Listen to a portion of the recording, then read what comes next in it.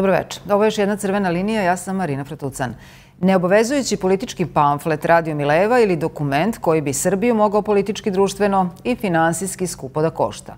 Da li je nova rezolucija Evropskog parlamenta o Srbiji početak kraja vlasti SNS-a i korak dalje za demokratizaciju Srbije ili opozicijono urušavanje suvereniteta sobstvene zemlje koja ne služi na čast ni Evropskoj uniji ni Evropskom parlamentu?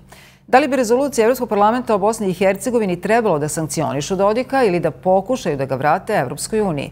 Koja je sudbina rezolucije Evropskog parlamenta o Banjskoj, o Dodiku i Čoviću, o srpskim sankcijama Rusiji? Koliko su ove rezolucije obavezujuće, koju poruku šalju Evropskoj uniji, a koju građanima i vlastima zemalja regiona?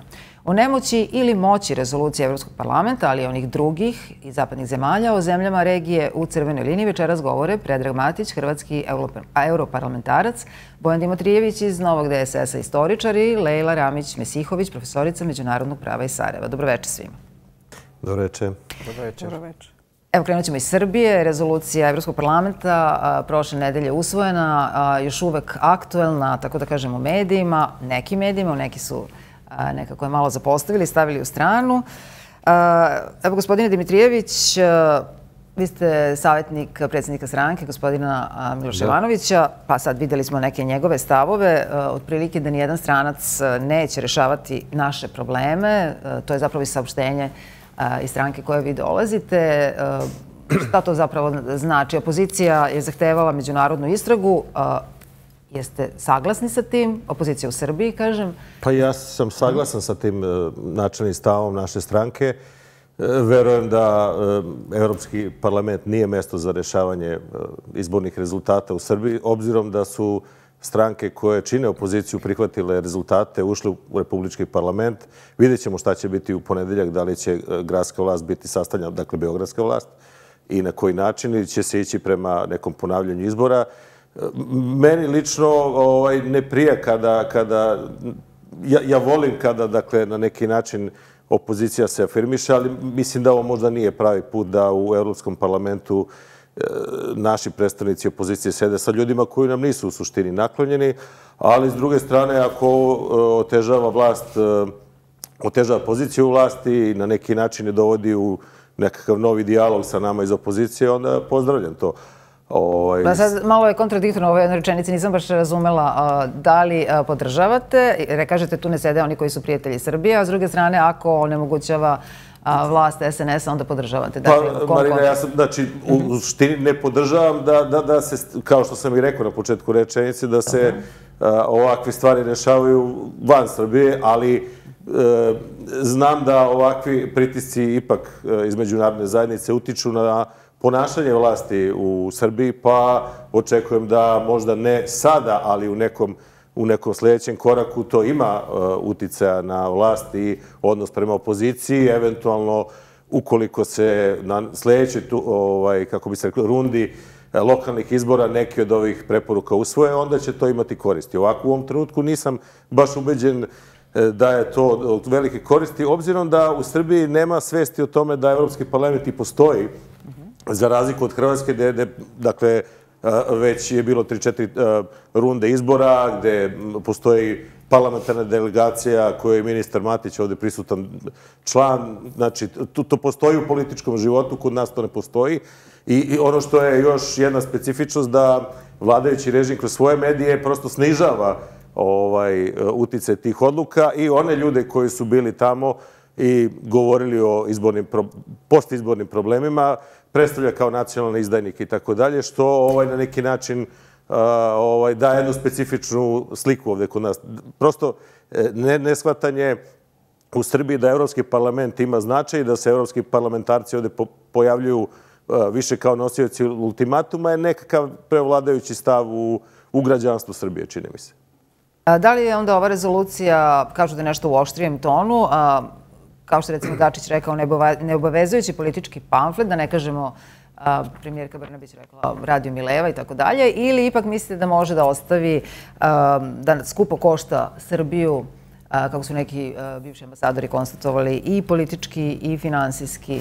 Pa, e, vi kad čitate sve e, rezolucije Evropskog parlamenta, one su pričo komplikovane. Jedan mhm. birokratski rečnik, dakle ima razreda problema, pa onda neke preporuke i tako dalje. To je To su 30, 40, 50, 60 stavki. Ja ne znam ko to uspe da pročita ovaj, i, i prosto ovaj, je to jedan od velikih uh, problema sa tim, uh, reklo bi se, birokratskim rezolucijama. Uh, njihov sadržaj je kompleksan, teško se razume, a onda ni, da kažem, ni upućeni u to ne mogu baš da shvate šta se tu tačno pre, ovaj, o čemu je tu tačno reći i na šta se primorava vlast u Srbiji, ali naravno, kao što rekao ste, postoji mogućnost da u nekom sljedećem koraku sve ove rezolucije, dakle, i ova, i ona o Banjskoj, mm -hmm. i neke ranije nam se e, prosto slože u jedan e, negativni kontekst prema vlasti, kao što smo imali prilike da vidimo krajem 90. godina kada su neke slične rezolucije prilično neobavezujuće karaktera se jedno složi jedan taras protiv Slobodana Miloševića kada je onda to rezultovalo promenom vlasti, ali mislim da smo još uvijek daleko od toga. Dakle, da rezimiramo, protiv se stranog mešanja, ali ako pomognu za skidanje vlasti, onda su relativno okej. Reklo bi se da je to nekakav moj stav, e, obzirom da sam predstavnik i stare opozicije, vidio sam dakle i ono vreme pre 30 godina i ovo danas. Ovo svakako nije uporedivo s ovim danas, bar ne u velikoj meri. Pa mi istoričari volimo da pravimo analogije. E, gospodine Matić, evo vi dolazite iz tog Evropskog parlamenta za koje mnogi sad kažu ima uticaje, nema uticaje, čuli smo eh, percepciju iz Srbije.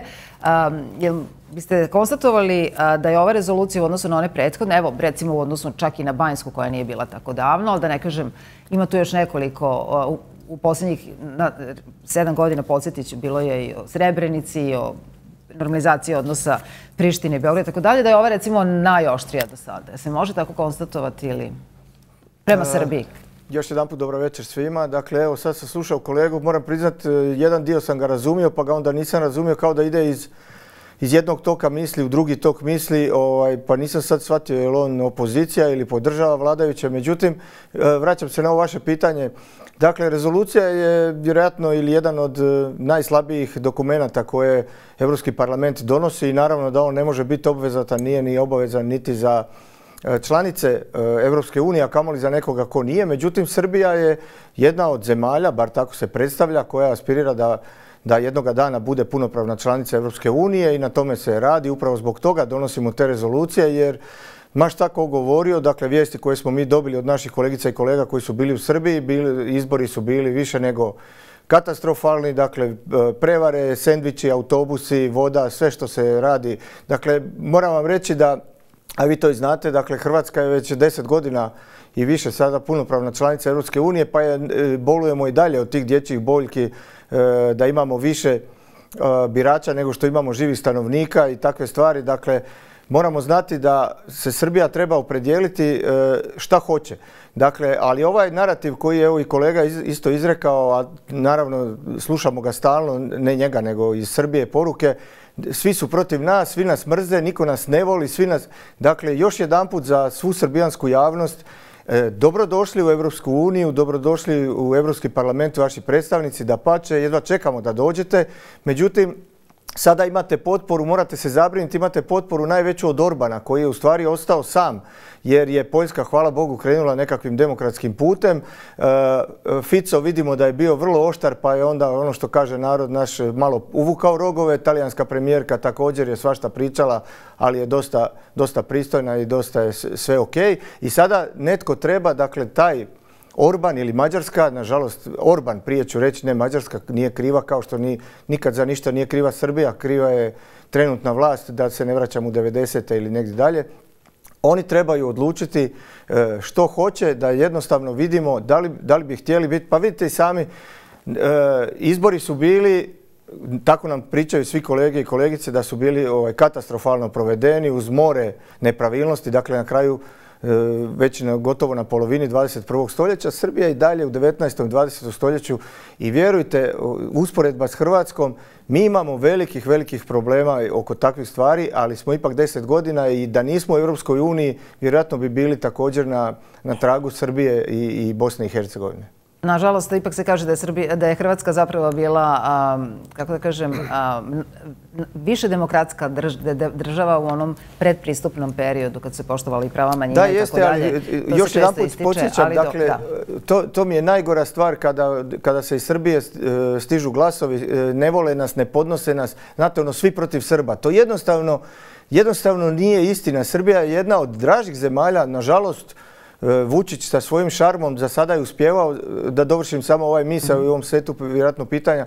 Dakle, kraj je mandata. I donijela se ova rezolucija koja nažalost neće ostaviti nikakvog traga jer zastupnici već sad gledaju svoja dvorišta kako obnoviti mandate, kako, što će biti sa njima u sljedećem... Izbori će uskoro, da. Da, izbori su za dva, tri mjeseca, tako da taj dio nema. Međutim, e, Mi smo milion puta ponavljali i Bosni i Hercegovini i Srbiji i Crnoj Gori i Makedoniji dobrodošli, ali pogotovo kad se govori o Srbiji i Bosni i Hercegovini, dakle dobrodošli, ali morate ispuniti one uvjete koje, dakle, to eh, zvati da je Evropski parlament donio pamflet ili kako je donio nekakve papiriće, ovaj, to je pocijenjivački, nećete tako u Europsku uniju, ono, vjerujte, nećete dugo. Ja sam, e, ponavljam da, da se ne, ne shvati pogrešno, dakle, jedan od najvećih zagovornika Srbije i Bosne i Hercegovine da što prije uđu u Evropsku uniju, ali isto tako morat ćete ispuniti sve one uvjete, a niste krenuli e, dobrim putem, odnosno ne idete dobrim putem. Dakle, samo da i kod vas rezimiramo, rekli ste u nekoliko navrata nije obavezujuća, znamo da nije obavezujuća, a da li je taj oštri ton, da li će ipak nešto osladiti posljedice po Srbiju ako se ogluši po ove preporuke iz rezolucije ili će biti kao i prethodno? Moram biti iskren i reći da neće. Dakle, ovo je samo jedan e, eto, dokument koji, kojima se radi pritisak i ukazuje se da smo primijetili te nepravilnosti koje su se događale za vrijeme izbora i pod izbornom procesu. Ali, nažalost, evo, i, i sam kraj je... Mi smo tamo već sad svi već ljuti, osim ovog iz Fidesa Mađari. Svi smo ljuti na Srbiju jer vuče, vuku nas za nos Mi imamo dobru volju, stvarno Evropska unija ima dobru volju prema Srbiji, prema Bosni i Hercegovini, ali posebno Srbija prednjači u tome. Dakle, čak i ovi izbori mislim da su uh, bili onako taktički napravljeni, jer sad recimo pitanje sa Kosovom, pa ne mogu sad ništa rješavati, još nisam formirao vladu, ovo ono, pa on ima izbore svaki šest mjeseci, ovaj, neće nikad formirati vladu i neće nikad biti u ozbiljnoj poziciji da donese odluku što će se dogoditi s tim Kosovom ili neće. Um. Posle priloga ćemo još malo e, detaljnije, naravno, ovoj e, e, rezoluciji posljednje vezano za Srbiju. Kad je reč o Bosni i Hercegovini, gospođo Ramić-Mesihović, rezolucije Evropskog parlamenta pa i one druge nisu strane ni vašoj državi. Dosta ih je bilo posljednjih godina. Kako ih vi ocenjujete? Dakle, znamo da su neobavezujuće, to znamo i konstatujemo, ali da li ipak mislite da je nekih pomaka bilo onih 14 prioriteta nije do sada ispunjeno. Čuli smo često sankcije Dodiku, nešto je uvedeno, ali taj 9. januar se recimo još slavi. Sve su to bile neki pozivi i konstatacije u tim rezolucijama, pa kako ih vi vidite? Prije svega treba trebam i osjećam potrebu da mhm. kažem da ovdje i ole politički pismena osoba u Bosni i Hercegovini, bez obzira na njen stav kad je Evropska unija, evropske integracije, kad su u pitanju, mi znamo šta je Evropski parlament. Mi znamo da je to tijelo koje ne treba ni podoštavati. To je tijelo od 705 poslanika koji se biraju na izborima u zemljama članicama. Naredni izbori su za 4-5 mjeseci. Znači, to nije nešto što treba ni podoštavati, to nije ni politički mudro, a nije ni pristojno nazivati to tijelo kakvo god daje, kako ga god mi doživljavamo, mi koji smo malo više naučili na ono što se zove hard power, na ono što je nekako šaka od sto, malo više autoriteta ili malo, malo više autoriteta. To su sve stvari koje treba imati na umu kad je Evropski parlament u pitanju. Znači, kad on donese rezoluciju, prije svega ne bi se složila da je ona nečitka, da su one jako kompleksne, Svaka rezolucija se sastoji u principu iz tri dijela. Jedan je pozivajući, standardni bilo koje rezolucije, to je bilo kakva rezolucija, tako izgleda. Pozivajući, znači pozivamo se na određene stvari, na određene potrebe. Drugi je uvodni, obrazlažajući i treći je dio koji nosi substancu. Znači, to nisu nečitki nenormalni dokumenti, nebitni dokumenti, na njima rade stručnjaci a, i oni nose određen politički kapital iza sebe. To je jedna stvar. Druga stvar, kada dođe ta rezolucija, na jedan politički prostor na koji se ona odnosi, nju odmah fragmentišemo, odnosno ljudi koji čine taj politički prostor, političke elite, prepoznaju svoje političke interese u tim rezolucijama ili ne. Tako u nekim periodima, pa evo i da se ja koristim recentnijom istorijom od 30 godina, znači koristit ću se ovom nekom istorijom kad smo se opredijelili sve da želimo Evropsku uniju, a to je nekih kasnih 90. godina bilo, 97. koliko se sjećam, mi smo rekli da želimo Evropsku uniju i to otprilike znači da nam je važno što Evropska unija o nama misli. Znači, to znači otad samo to. Umeđu vremenu nisu samo bile rezolucije koje nama ne odgovaraju, koje nismo pozdravljali, um, koje nisu nailazile na nerazumijevanje određenih uh, političkih krugova u našim zemljama. Mi smo tako imali jako dobre rezolucije koje su nam uh, bile praktično rezultat našeg rada i uh, pozitivni signali iz Razbora i Brisela. Šta to znači? Pa sjetimo se samo vizne liberalizacije, velike uloge koje su e, europarlamentarci, dosta njih iz ovih prostora, konkretno sjećam se e, kasnije ministarka vanjskih poslova Republike Slovenije, Tanja Fajon, e, je bila jako poželjan gost i jako radoviđen gost na svim našim, u svim našim državama kad smo dobili viznu liberalizaciju. Onda se sjetimo isto tako i podrške koliko nam je svima bila važna podrška. Kad smo čekali mišljenje, praktično stav Evropskog parlamenta, njegove većine, kad su naši sporazumi o stabilizaciji i pridruživanju u pitanju, da podsjetim, odnosno da informiše možda građanstvo koje nas gleda, mi Srbija, recimo Crna Gora, zemlje Zapadnog Balkana. To je jedini ugovorni odnos koji mi imamo sa Evropskom unijom. To je nama jako važno. Nakon toga se otvaraju pregovori i tako dalje. Tako da ja ne bi množila te rezolucije s nulom, ne bi ih pogotovo nazivala pogrdnim, posprdnim imenima.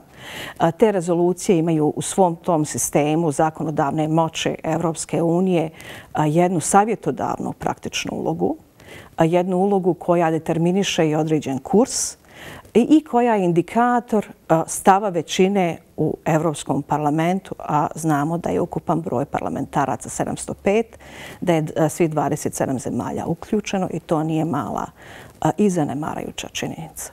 Da, e sad vi ste naveli ovde ove pozitivne e, rezolucije koje su dobro e, činile građanima Bosne i Hercegovine. Ja sam pomenula neke iz kojih čitavamo da nije baš se desilo u stvarnosti ono što se zahtevalo od e, vlasti. Pre svega mislim i na Republiku Srpsku, ali bilo je odnosi se i na Bosnu i Hercegovinu, i Čović pominut i tako dalje. E, dakle, u tom kontekstu da spitam šta sa tim kad se ne desi, e, šta se onda sa njima dešava? Te stvari ne nestaju.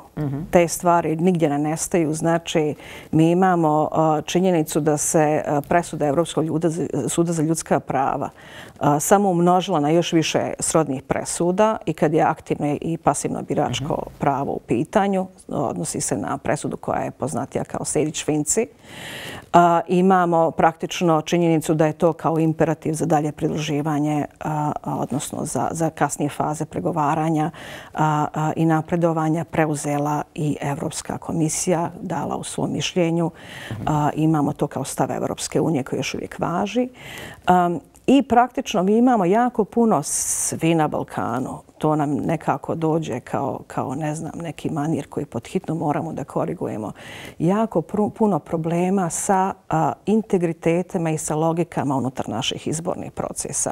I mislim da tu svi imamo prostora za poboljšanja. A, mi imamo različite izazove u, u našim zemljama, ali svi imamo a, izazove koji su vrlo srodni i nama svima o, na ovim prostorima jako razumljivi, pošto smo mi nekad dijelili jedan politički prostor i hoćemo da uđemo opet u jedan politički, zajednički politički prostor koji se zove Evropska unija.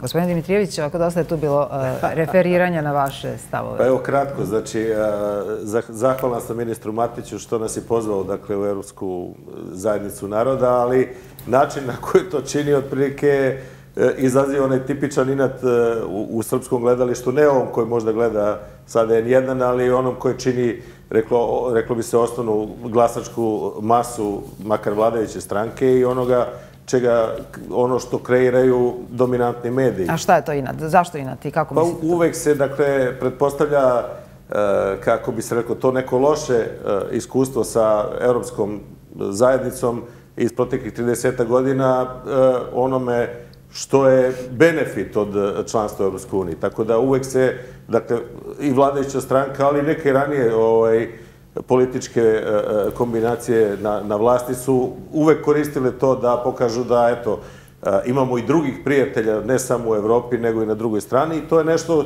što je recidiv i nekakve prošlosti, nesvrstanosti i ne znam nija čega. Ranije veličine Jugoslovenske države, koja još uvek ovde nije razbistrena u, u, srpskim glavama, ali je to i posljedica nekakvih, eh, da kažem, ultimativnih odluka koje su često stizale na neke od poteza koje je Beograd, Beogradska vlast činila i to je nešto što je prosto tako.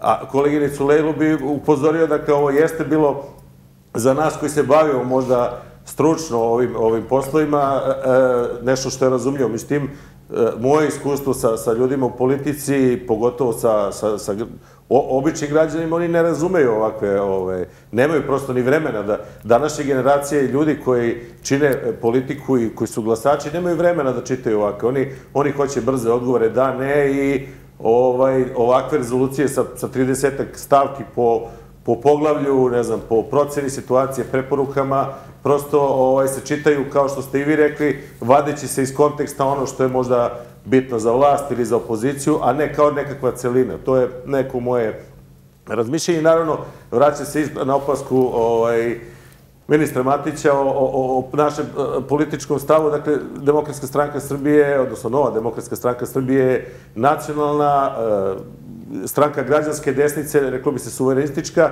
ona ne deli, ne može da se svrsta sasvim ni u ovaj e, opozicioni blok koji je dominantan, koji ste videli e, u parlamentu, svakako nije deo, dio vladajuće strukture, prosto mi želimo da imamo jedan e, ovaj, samostalni pogled na on, koji se baštini, ta stranka baštini takav pogled od kad je formiran 1992. godine, tako da je to nešto što je prosto zahvata i jedno i drugo, naravno, mi smo, mi smo uh, saveznici uh, ove opozicione dominantne strukture koja je bila i u e, Evropskom parlamentu. Znamo da bez zajedničkog rada neće biti promene vlasti u Srbiji, ali imamo svoje specifičnosti i gajimo jedan drugačiji pogled i na evropske vrednosti i na, i na suveren, suvereni put Srbije u nekom međunarodnom kontekstu. Da, vi kažete, da, vi kažete Srbija žive u Evropi, mi smo evropski narod, delimo evropske vrednosti, ali smatrate da ulazak Srbije u Evropsku uniju ne bi značio puno članstva u glavnoj sobi, već priključenju predsoblju. Pa zato što kasnimo dramatično sa tim, e,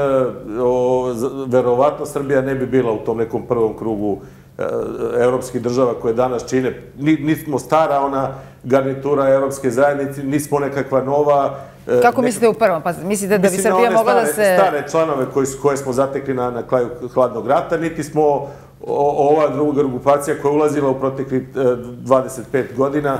Dakle, mi bi zajedno sa ostalim zemljama Zapadnog Balkana verovatno bili u nekom nekom statusu koji je ovaj, nije adekvatan možda očekivanjima građana kada uđu u Europsku uniju da će ne znam šta biti odjednom U tom smislu e, niste za ulazak, jeste za ulazak? E, e, ja, ja sam bio veliki zagovornik e, Evropske Europske unije do 2015. godine kada sam vidio da u migranskom talasu Europska unija ne funkcioniše na način kao što je to proklamovano i e, uz jednu politiku uslovljavanja, a govorim iz, iz deseta godina provedenih u, u vrhu vlasti, ta politika uslovljavanja nas je dovela u dilemu da li je zaista evropski put ispravan i, i da li smo zaista poželjni članovi. To smo se mi susreli još u vremenu odmah posle ubista premijera Đinjića. To uslovljavanje koje se menja iz, iz epohe u epohu, iz godine u godinu, prvo su haški optuženici posle, ne znam, nešto treće, Republika Srpska, Kosovo i tako dalje. Sad će vjerojatno biti ovaj Radojčić ili nešto treće. E, to, na, to prosto sve na neki način... E, taj e, broj ljudi koji su čvrsto za Europsku zajednicu, ulazak Srbije u nju, e, se osipa iz godine u godinu i to pokazuju sva interesovanja. To je činjenica, da, izvinjate što se prekidamo, to je svakako činjenica u svim zemljama Evropske unije kako su se približavale. Evropske unije taj procenat podrške je opadao, tako je, tako je bio slučaj i u Hrvatskoj. Što su, znači, Kosovo je ovde podignuto na jedno od značajnijih pitanja prepoznavanja ulazka u Europsku uniju. Ako, ako je to Kosovo cena za tu 80 i nešto posto građana Srbije protiv onda. Ja moram prosto da, to da kažem. Ali to Kosovo nije od juče... Naravno, da, upravo im, ispričavam se, upravo im to niste objasnili. Dakle, ja sam i bio ovdje prije nekoliko mjeseci u ovoj emisiji pa sam e, razgovarao. Dakle, taj benefit koji vi svojim građanima ne, ne prikazujete jer su vam mediji apsolutno pod kontrolom, dakle naši mediji u Hrvatskoj su katastrofalni, onda mogu misliti u šasne iznimke naravno, mogu misliti kako je tek u Srbiji ili u Bosni i Hercegovini. Dakle, benefit ulaska, evo samo da vam ja kažem, znači u, u ovoj godini, odnosno od prvog prvog uh, prošle godine, Schengen, dakle, da vi znate kako je to ljepota, kakva je to sloboda, kakva je to uživanje, kada vi, ja krenem od kuće automobilom, bilo avionom, nikome ništa ne pita. Pa pitaju vas malo, na slovenačkoj granici vas pitaju. Ne, ne, to je vrlo, vrlo blaga pa, jedna kontrola radi, radi ovih situacija koje su se sad događale nedavno, ali ne treba s tim ovaj, uzbunjivati javnost. Dakle, ali ljudima treba pokazati, e, znate, mi iz Hrvatske, možda Slovenije, Rumunska, Bugarska, mi smo tu slični sa vrlo, vrlo slični sa Srbijom, Bosnom i Hercegovinom i vjerujte, ja bi možda imao nekakva druga stajališta i u Europskoj uniji i svemu da sam, da sam danac, da sam nizozemac ili šveđan. Međutim, mi smo ovdje u ovoj situaciji, ali da mi ne pobjegne misao, vraćam se na Kosovo. Dakle, kada, za normalne ljude, a ja se nadam da ipak u Srbiji i na Kosovu žive najvećim brojem normalni ljudi, kada vas nitko ne bi ništa pitao, kad vi iz Beograda, recimo ja uvijek slušam, to, to je najveći, kao najveći problem slikovito, ja ne mogu ići na svoje sveto mjesto u nekakav tamo manastir, peć ili šta znam. Ali kad ti kreneš iz Beograda i nitko te do tog manastira ništa ne pita, nikakve tablice ne moraš mijenjati, nikakve novce, nikakve kontrole, ne vidiš uopće policajca, vidiš samo možda radare za brzinu vožnje dođeš i obaviš to što si imao u peći i vratiš se u Beograd istih dan bez ikakvih problema, to je to, to je Evropa, to treba ljudima objašnjavati, oni ne znaju možda i naravno ne, mo ne moraju svi znati najkompliciranije sustave koji se događaju u Europskoj uniji i Djelomično se mogu složiti sa kolegom koji je rekao da mi jesmo male zemlje, mali nas je broj i, i tamo predstavnika, recimo nas je, nas je 12, kao što profesorica Leila kaže, 705 je ljudi, Njemaca je puno, puno više, e, Španjolaca, Francuza je puno više. Međutim, taj dio se ne primijeti i mi mali imamo, uvjetno rečeno mali, imamo svoju priliku, imamo svoju šansu Na nama je da se izborimo za sve. Nitko nam to ne brani. Pa gledajte, u Srbiji neće nitko reći ili vaš predsjednik neće reći zašto se mi ljutimo. Pa predpristupni fondovi, pa objavite ljudima koliko novaca i sad iz Evrope ide u Srbiju, a vi niste članica Evropske unije. Kažem, iz Hrvatske najvjerojatnije mali dio tih novaca odlazi za Srbiju, ali ponavljam, da sam danac, ja bi se pitao, pa što ja tim ljudima dajem novce? Oni podržavaju Putina, oni podržavaju agresiju, dok opet mi koji smo malo više upućeni vidimo da Srbija i tekako šalje i oružje za Ukrajinu i sve. Znači, biznis je biznis, a politika je politika. Ali zaključno... Da, Da, pomenuli ste te fondove o kojima se i ovdje pominje. E, bilo je naznaka ako e, vlada Srbije odbije međunarodnu istragu, ako do nje dođe, ako Evropska komisija pošalje i tako dalje, onda bi Srbija i finansijski mogla biti kažnjena. Koliko je to realno? Ja bih volio, vjerujte da bih volio da, da to bude tako, jer smo toliko već ljuti na Srbiju koliko nas vuče za nos, apsolutno. Evo, ja sam pet godina skoro u, u ovom E, sazivu Evropskog parlamenta, dakle, Srbija je majstor Mislim, ja sam sa, sa ovih pro, područja i krajeva, čak i istočno, vrlo blizu Srbije, ja sam iz Vukovara, ja, ja znam kako razmišljaju ljudi, ja sam tamo pokušao objasniti i ljudima kako Putin razmišlja. Oni su 23. veljače rekli, evo čovjek izašao na televiziju i rekao da neće napasti Ukrajinu. Halo, to je istočnjak, on nije ništa, on što je, što je potpisao, tek od sutra se ovaj, mjeri šta ćemo raditi. I tako je bilo, sutra ujutro je napao Ukrajinu. Uh, mi moramo znati da Pare, da, to sam vas e, pitao. Za, za pare, pare za dakle, uh -huh. Vučić kaže pare stižu radi mene. A kad pare ne budu stizale, onda će reći e, to Evropska unija kažnjava Srbiju i Srbe, što jednostavno nije istina. Ali bi trebalo ljudima reći da će ti novci još i više pristizati kada se budu poštivali principi oni koji poštuje i Evropska unija. Dakle, ne može, ovo, to vam radi Mađar, to vam radi Orban. Lovu dajte, ali zapadne vrijednosti, ljudske vrijednosti, demokratske nekakve standarde, e to ne. E pa ne može tako. I čak je bio bezobrazan pa je izjavio da će 2030. po njegovoj procjeni Mađarska izaći iz Europske unije jer će tada postati veća uplatiteljica nego primateljica novaca. Vjerujte, ja bih ih izbacio odmah ujutru, odnosno još jučer, jer Jer da sam, opet već sam dosadan, da sam danac, da bar, barem da jesam, da sam danac ili austrijanac, ja bi, ja bi insistirao na tome da se Mađare izbaci odmah, jer takva izjava upravo traži to da, da više ne možeš biti član jedne takve organizacije, jedne takve obitelji koja ti pruža priliku da hvataš priključak ekonomski, društveni, gospodarstveni, e, kulturološki bilo kakav e, priključak, pružamo ti priliku, ali ti to nećeš. Da, možda danci ne razumeju, ali vidim Nemci i neke druge velike nacije su razumele Vučića. Naljutio bi se na ministra Matića ovaj, zbog ovoga. Ne govorim nikad protiv Mađara kao naroda, kao što ne želim nikada i ne bi nikad rekao niti jednu riječ protiv Srbije.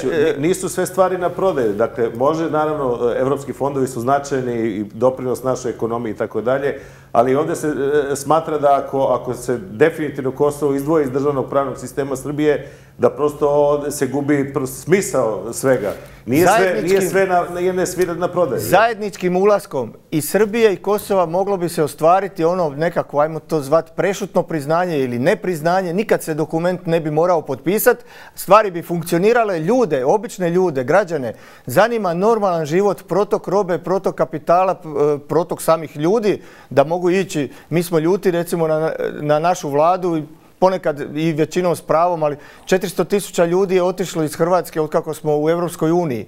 Dobar dio je otišao trbuhom za kruhom, dobar dio je otišao naravno jer se ovdje nije moglo živjeti i standard je puno manji, ali sa putovnicom Evropske unije možeš posao naći od Hrvatske, znači od granice, od Bajakova pa sve do Portugala niko te e, ravnopravno nastupaš na svim natječajima za posao kao i svi drugi građani Europske unije. To je takva prednost. Da, da, koliko je realno. Ponos, Ako već toliki ponos sada bude malo onako provokativan, onda ako je toliko ponos jak, onda kaže ne, ne trebaju nam vaši novci, ne treba nam ništa, nego novce daj, ali ponos ne damo.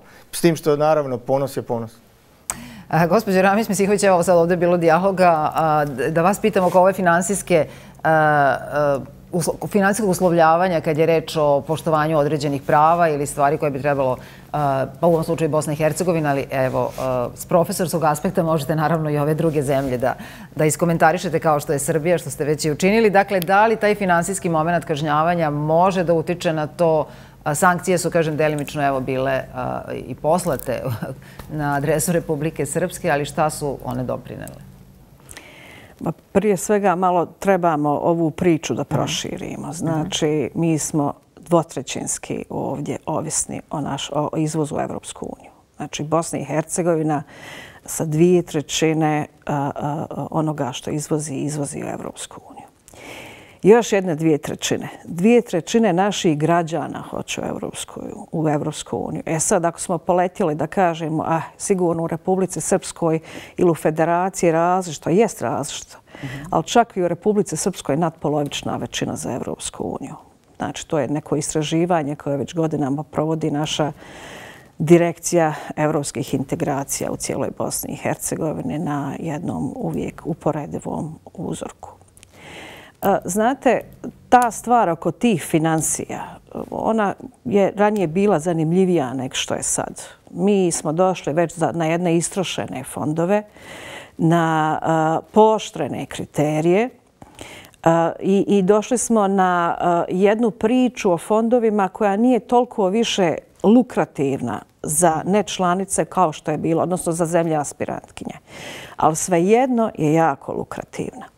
I ako vidite u našim zemljama, ako mjerimo donacije, daleko ispred svih je Evropska unija i njene zemlje članice. Znači, tu nema premca Evropska unija u našim zemljama. Ako pričamo o ekonomija, no naše ekonomije su toliko naslonjene na Evropsku uniju, već sada. Mi imamo već neko vrijeme posebne preferencijalne režime Imamo našu, je li tako, CEFTA, ova centralna evropska Free Trade Agreement organizacija, isto tako nešto što je dio te evropske logike. Dijelovi smo energetske zajednice, okrupnjavamo se kroz različite regionalne inicijative. Znači, taj sam briselski, odnosno berlinski, izvinjavam se, proces, taj sam berlinski proces sa sobom isto donosi velika, velike fondove. Znači, nije to samo nešto što je multilateralno, odnosno što je bilateralno, ako, ako tako gledamo stvar koju nam daje Evropska unija. Mi ulaskom u Evropsku, u Evropsku uniju, svakom narednom fazom ulasku u Evropsku uniju, ne samo da dobijamo više sredstava i više mogućnosti za fondove, onda je puno toga i do nas kako ćemo ih iskoristiti. Da, ne, ne, ja vas pitam za, za, za mogućnost kažnjavanja kroz ove rezolucije, najave kažnjavanja, ovo što smo imali uskraćivanje finansijske pomoći za određene projekte i u Republici Srpskoj, kažnjavanje određenih političara finansijski, pa i naravno samog Dodika, koliko je to zaista pomoglo da se ove, ovi kriterijumi ili ovo sve što je pomenuto, pomenuti već rezolucijama kad je reč o Bosni i Hercegovini zapravo ispune. Ne vidimo baš neke pomake u tom Ma smislu. nema tu, da vam kažem nešto, to na kraju narod osjeti taj, mislim, ne da, ne da osjeti, ne može osjetiti nešto što nije dobio jer to nikad nije ni imao ali e, mislim da se nedovoljno govori o svim mhm. propuštenim prilikama, konkretno moje, ali i drugih zemalja. Znači, mi imamo jako puno propuštenih prilika. Ima ekonomista koji jako dobro su u stanju da izračunaju cijenu propuštenih prilika. Mislim da se ta cijena može jako dobro izračunati u sve tri naše zemlje.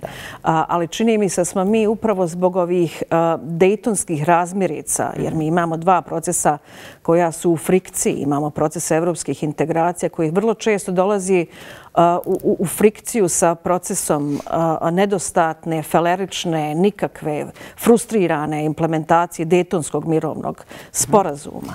Znači, kako se povećavaju te frikcije, nama se stvaraju problemi, počne se pričati o nekakvim razmiricama vezano za nadležnostima, svi vuku svoje nadležnosti, a niko neće na njima ništa puno da radi. E tad nastanu problemi u Bosni i Hercegovine.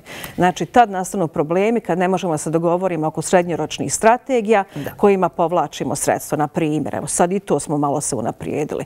Ali 2015. godine, recimo 2014. godine smo imali velike probleme. Puno smo izgubili e, para jer otišlo, tad smo imali te što se zvalo envelope koverte.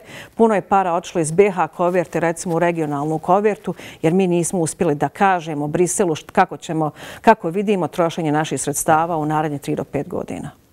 Nažalost, idemo reklame, vraćamo se u studiju.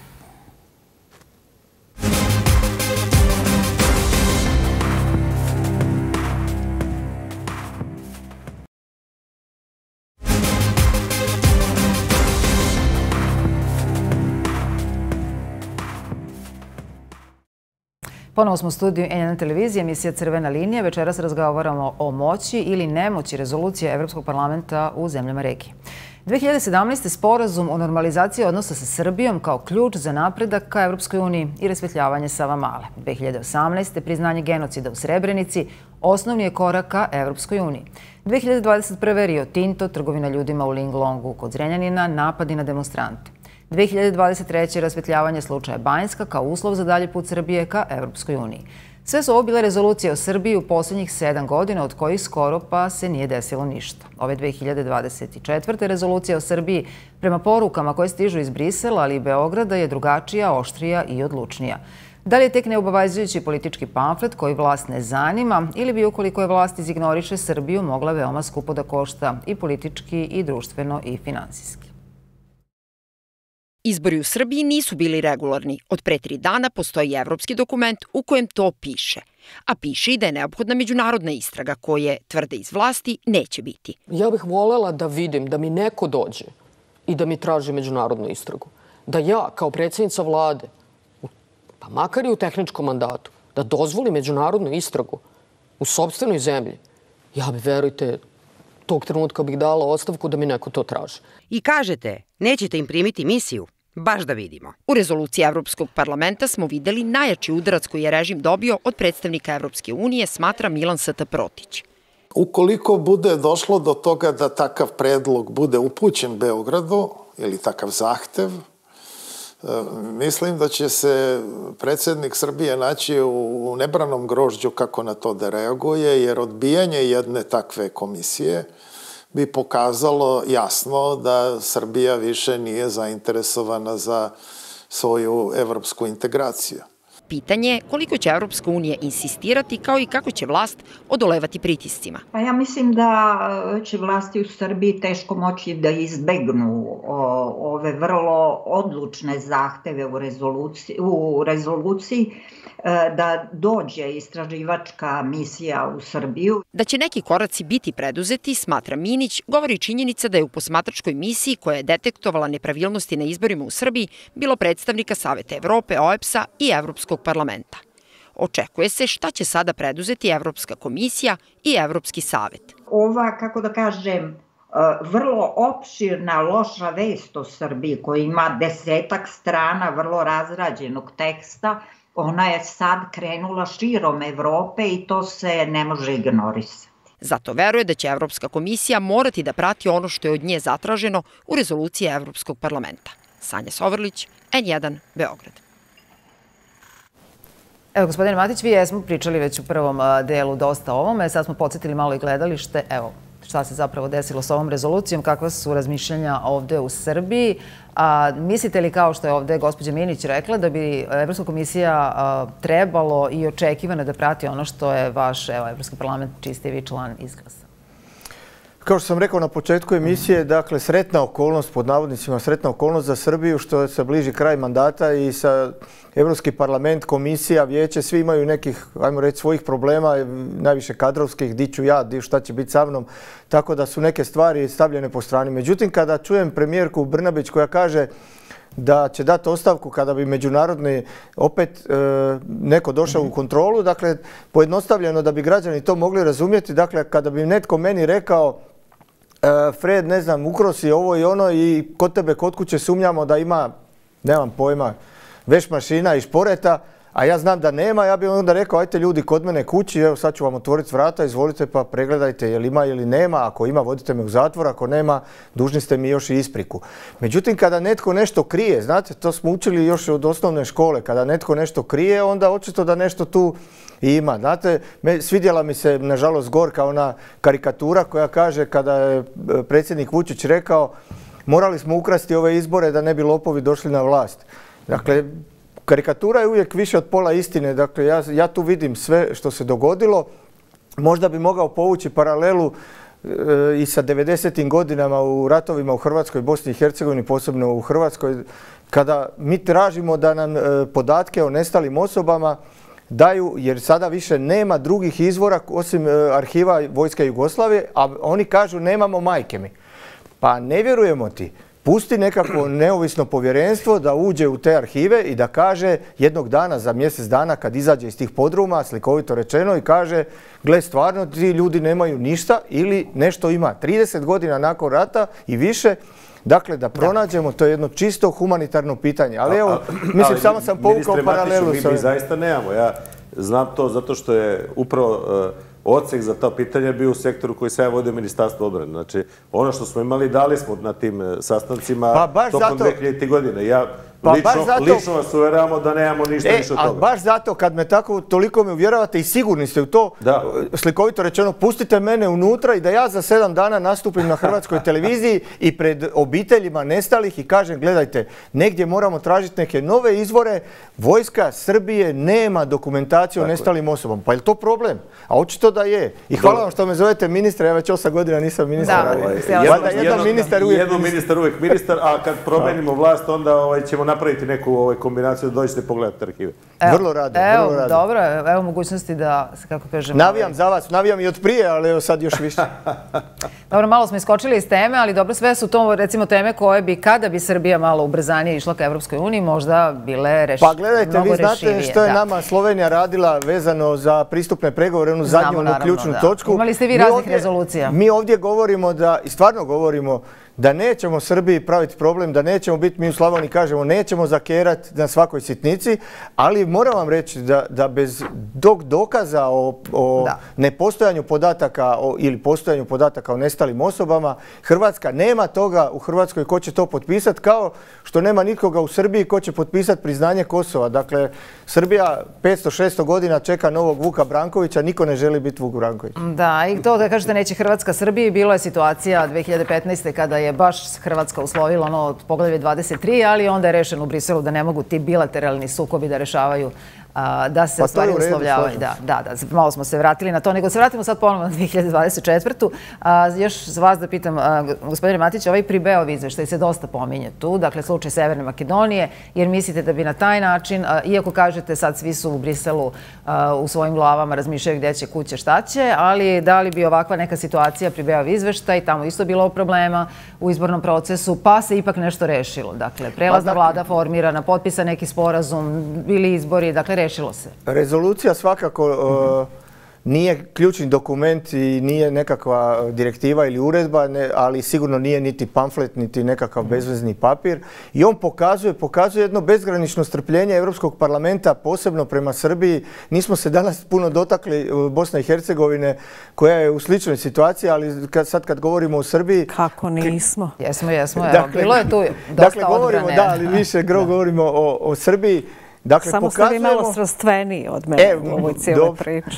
Ovaj, da, Pribeo izveštaj, iskreno, može li? Iskreno, e, ne znam detalje, ne znam podatke o, o tome, pa ne mogu to posebno komentirati. Dakle, još jedan put, e, Evropski parlamentarci rade po različitim odborima kao što se radi u, u državnim parlamentima i saborima. Uh -huh. Dakle, ne možemo poznavati svu problematiku i ne mogu neke stvari, ne mogu ući detaljno. Pa Dobro, gospodine Dimitrijević, vi znate o Pribeovom izveštaju, pretpostavljam. Pa ne previše, ali e, samo bih volio da kažem da, da jedno Dakle, situacija u Severnoj Makedoniji je bila slična, imala probleme sa izborima, rešilo se e, Ne, nego Marina, posjetili ste me sa, sa tim na, na jednu stvar koja ovdje dominira u politici i uopšte u shvatanju.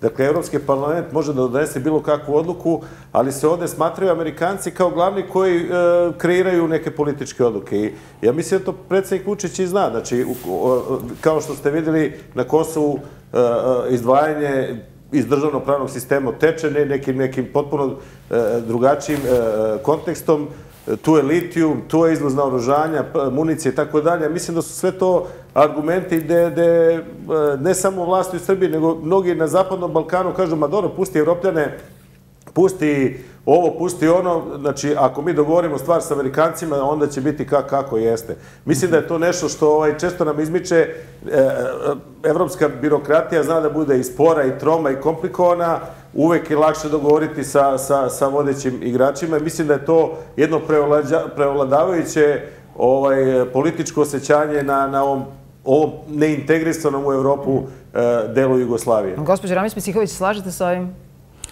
Ma ne znam što da vam kažem. Mislim, ovo su sve nekakve gimnastike. Ja, ja ovdje imam vrlo jasno razmišljanje i u Evropskoj uniji, i u Evropskom parlamentu. I o Sjedinjeničkim državama, to sam vas pitala. I, i, o, i pa upravo to. Znači, o autonomiji, o nivou do kojeg Evropska unija može biti autonomna u odnosu na Sjedinjene američke države, znate, mislimo, to, to mi pričamo o, o jednom kompleksu zemalja od kojih je većina članca NATO i, i ima vrlo bliske odnose, praktično spada u, ta, u tu zonu, uh, uh, kako da kaže, moći koj, u kojoj dominira, dominiraju Sjedinje američke države. Mi smo, i, i, mi smo svi živimo u toj zoni moći. Znači, mm -hmm. bez obzira li se to nama sviđalo ili ne, ili to služilo ili ne našim uh, političkim U tom smislu ne biste razvajali ova dva uticaja?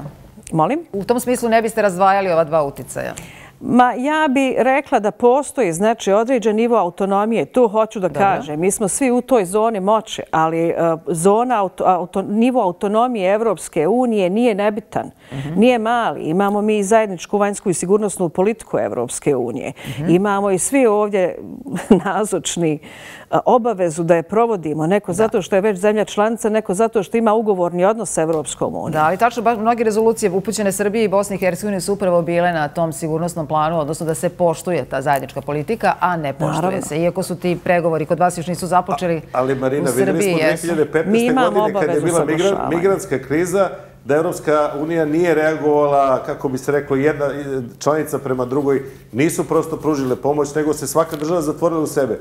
To je bila prosto slika nemoći ili moći Europske unije u tom bezbednostnom kontekstu. Tu ste, tu ste u pravu, dakle, neki dan sam i sa predsjednikom e, Republike došao malo u verbalni jedan duel vezan uz to. Dakle, 27 zemalja, jako je teško uspostaviti konsenzus po svim pitanjima i tako brzi konsenzus. I stvarno, ovdje ste u pravu, recimo kad je bila COVID kriza, Evropa se nije dobro postavila e, svako je vukao na svoju stranu, svako ministarstvo zdravstva je vuklo za svoju stranu i vjerujem da je tu napravljeno dosta promašaja. Međutim, u ovoj situaciji kad se dogodila ruska agresija na Ukrajinu, Evropa je dosta dobro reagirala i stvarno e, držimo se oko toga, ali ovo Bilo je što je profesorica Leila rekla, dakle što se tiče Srbije, opet govorim i Bosne i Hercegovine, držite se vi Evropske unije, nemojte baš misliti da ste igrači, da sjedite za stolom, sjetimo se onog slikovitog prikaza kako je Vučić sjedi uopće kod Trumpa za stolom.